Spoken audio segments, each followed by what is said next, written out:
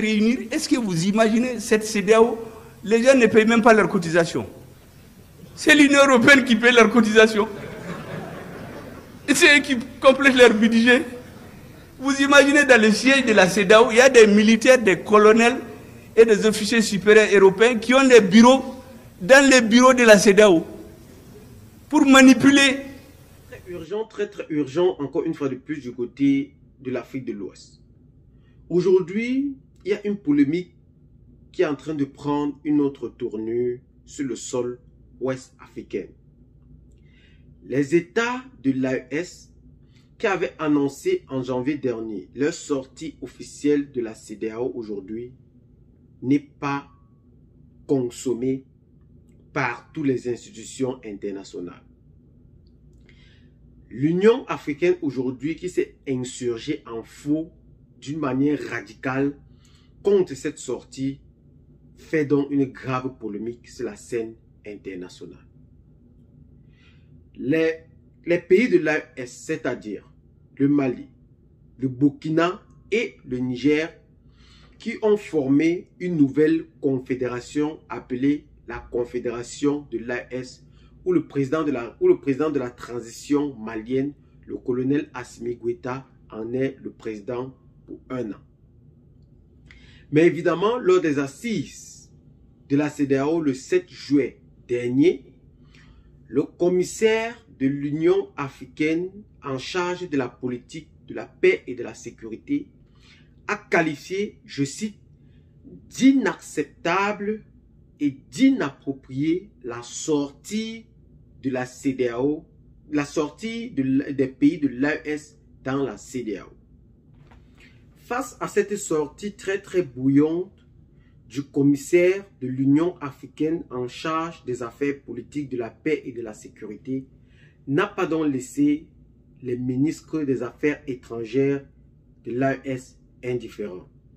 Ils ont donc décidé de riposter d'une manière très vigoureuse. Ils ont donc qualifié cet acte du commissaire de l'Union africaine de contraire au devoir de réserve et à l'obligation d'impartialité inhérente à tout fonctionnaire d'une organisation intergouvernementale. Ils n'ont pas donc compris la position radicale que le commissaire de l'Union africaine en charge de la paix, de la sécurité ou des affaires politiques a pris vis-à-vis de l'AES. Ils ont donc rappelé à l'AES que cette décision est une décision revisée de la CDAO en 1993. Et ils ont aussi rappelé que la sortie d'un autre pays dans les années 2000, qui est bel et bien la Mauritanie, n'a pas causé autant de bruit que la sortie de l'AES. Et que cette sortie est bel et bien une sortie revisée. Et ils ont rappelé. Ils ont donc appelé dans ce dernier à donner sa position réelle. Pourquoi il a pris cette partialité ou une partie vis-à-vis des événements qui sévissent aujourd'hui en Afrique de l'Ouest. Parce que, comme le rappelle la charte, tout fonctionnaire doit adopter une posture de réserve et d'impartialité vis-à-vis d'un problème précis face aux nations ou d'une organisation.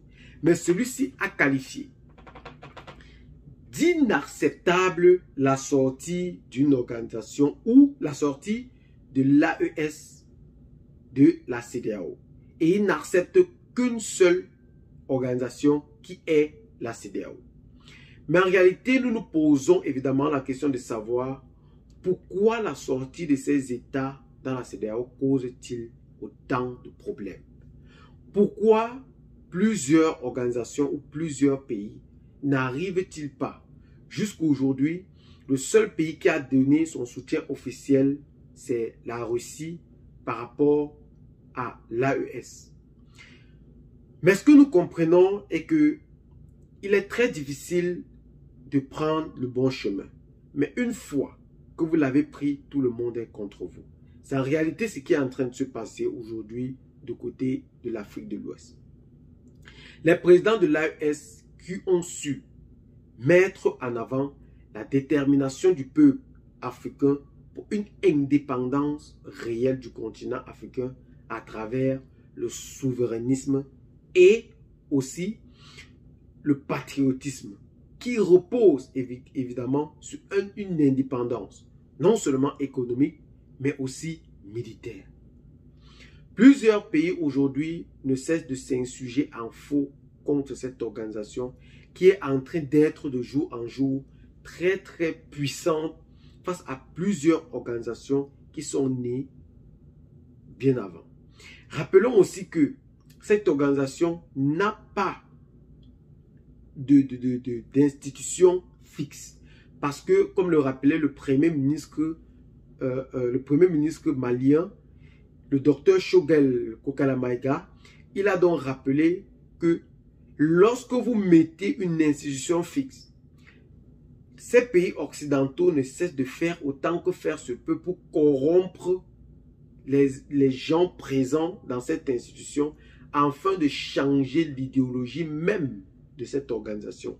Ils ont donc opté, en effet, pour, rechanger tout le système tout en mettant des, des, des présidences juste par nomination. Et chaque pays ou chaque président restera dans son pays. Et à chaque fois qu'on organisera des conférences, cela passera d'un pays à l'autre, mais sans toutefois assister à une institution bien définie. C'est ce qu'a décidé ces chefs d'État, tous à la tête de l'AES, pour organiser, pour organiser cette institution. Mais rappelons évidemment que la, polémique entre les pays aujourd'hui en Afrique de l'Ouest ne cesse de prendre une autre tournure. Face à cette tendance, la Côte d'Ivoire, bel et bien, repose d'une manière très vigoureuse. Suite au renvoi de 176 personnes, selon le gouvernement burkinabé qui est uniquement constitué des femmes et des enfants. Et le gouvernement euh, euh, euh, ivoirien, par la voix du porte-parole du, parti RHDP, a officiellement dit qu'ils fermeront tous les camps de réfugiés burkinabé en Côte d'Ivoire. Et nous comptons à plus de 65 000 réfugiés aujourd'hui en Côte d'Ivoire. Et ceux-ci disent qu'ils vont fermer toutes ces institutions, tous ces, camps, euh, ces camps de réfugiés. Donc dans les jours à venir, nous devons assister réellement à cela. Et nous rappelons aussi que le Premier ministre euh, malien avait aussi dénoncé que si jamais l'Union africaine persiste toujours dans un ton difficile ou un ton paternaliste, ceci trouvera, trouvera, trouvera bel et bien purement et simplement la sortie de l'Union africaine, même de l'ONU, s'il s'agit réellement de leur souveraineté. C'est réellement ce qui est en train de se passer aujourd'hui du côté de l'Afrique de l'Ouest face à cette tendance très très vigoureuse que vit les États. Qu'est-ce que vous en pensez particulièrement face à cette situation? Laissez donc massivement vos commentaires. Abonnez-vous à la chaîne si ce n'est pas encore fait. Partagez la vidéo avec les amis si vous l'avez trouvée intéressante. Et à très bientôt pour de nouvelles vidéos. Ciao